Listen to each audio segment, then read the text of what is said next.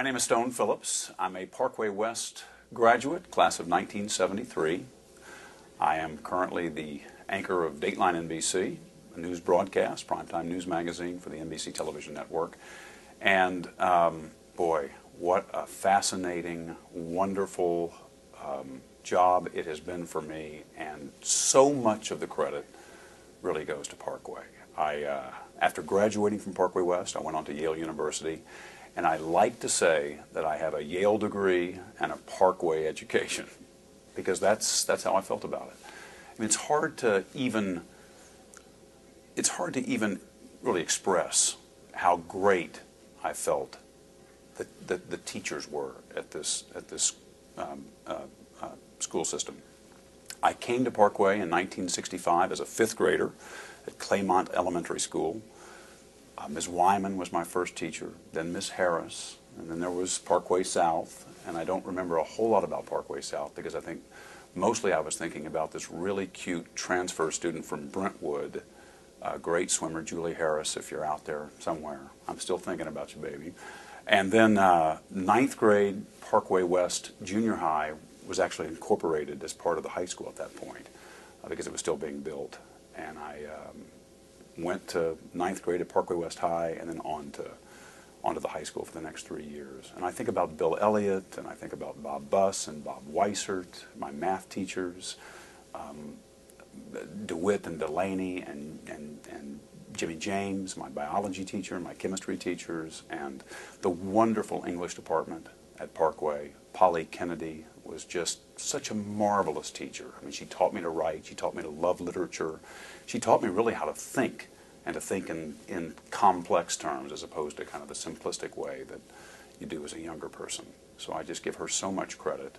I was extremely irritated with Ms. Kennedy when she uh, enrolled me in a national essay contest as if I didn't have enough work to do with her assignments and everything else at school. I had to then do these extra essays. And, um, but she, she knew what she was doing. She pushed me to do it, and, and lo and behold, I wound up being one of the winners. And it actually, I think, really helped me on my college applications. Um, and so I have to thank Polly Kennedy once again for encouraging me to do that. And then there's sports at Parkway. I played uh, basketball and football. Um, and that goes all the way back to ninth grade with Bob Ferree and Don Schiller. I can remember uh, we had an undefeated season on the ninth grade team. We went up to Parkway North Junior High School as an undefeated team, and they had struggled a little bit, and they wound up battling us to a tie. And we were like incredibly dejected as we walked off the field. And the North kids were ecstatic because they felt like they had won, but they'd only tied us. And what's, what's kind of ironic to me is that was the same year, 1969, when the Yale Harvard game wound up in a 29 29 tie. And the headline said, 29 29, Harvard wins. because they felt the same way. Yale had the superior team, but Harvard had battled back. So maybe it was an omen of things to come. Who knows? But uh, I did wind up going to Yale and playing football there as well. I quarterbacked the Yale football team.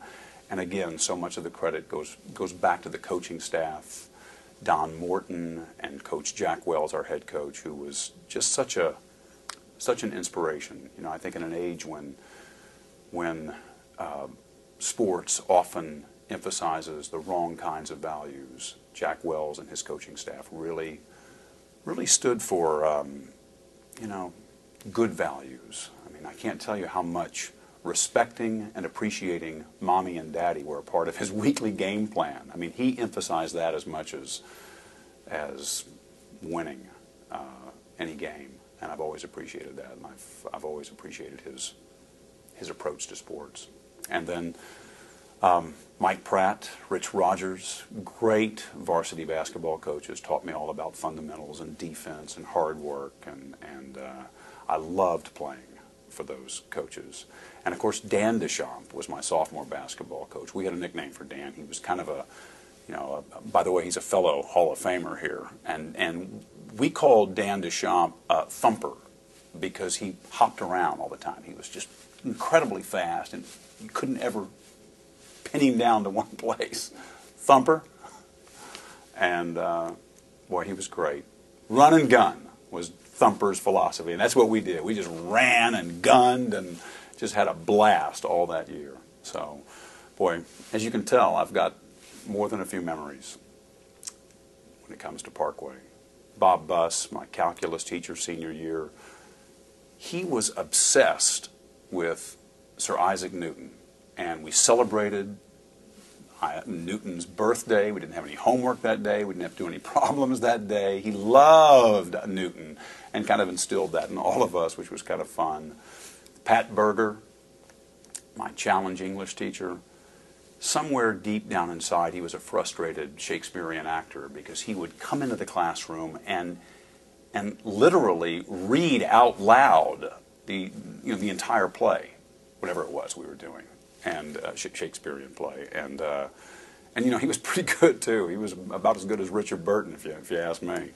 Um, so many so many memories. I you know I can remember Bill Elliott, my freshman ninth grade geometry teacher also ran the audiovisual department at Parkway West. And I can remember my senior year, in 1972, gathering in to watch the lottery where everybody was getting a draft number for that year. The Vietnam War was still going on, and uh, the draft was still uh, in effect at that point. It was, I think, December of um, 1972. And my number came up 37 and I just felt so unlucky that 37 was was was you know was my number when I was hoping for something maybe a little higher, so I'd have some choices.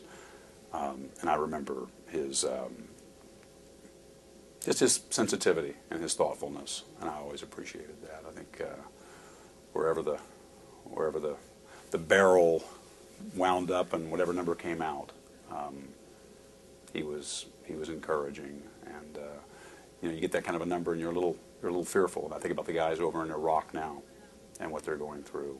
And uh, boy, I have a lot of respect for them. Parkway schools, I, I, I can't say enough. You know, I meet I meet world leaders, I interview prime ministers and royalty and movie stars and all kinds of incredible people in my line of work. And yet I really feel to this day that some of the most impressive people I've ever known have been the people that I knew at Parkway. And Maybe topping that list is Al Burr, the principal at, at, at Parkway West. You know, Al, Al had a saying. Al said, I don't believe in thank God it's Friday. I believe in thank God it's Monday. It's Monday, all these kids, all hours, all week. Thank God it's Monday. And that's how they felt. And that's how they made us feel. Those teachers wanted us there. They wanted us there. They wanted us in their classroom. They wanted to teach us and they wanted to prepare us for the world, and they did, and I will be forever grateful. It's a great school. You know, I hope that uh, I hope that you follow your hearts and study what interests you, especially as you go forward. I think there's a lot of pressure to specialize in this day and age and to make decisions and take a direction early on. And I would encourage students today to, to really expand keep expanding your world and your approach and be open to different things and don't feel the need to specialize too soon because you'll be missing out on a lot. On a lot. And I think Parkway, one of the strengths of this school system is is how much it offers. So take advantage of it. I mean, uh, don't close yourself off to those opportunities and uh, and uh, work hard.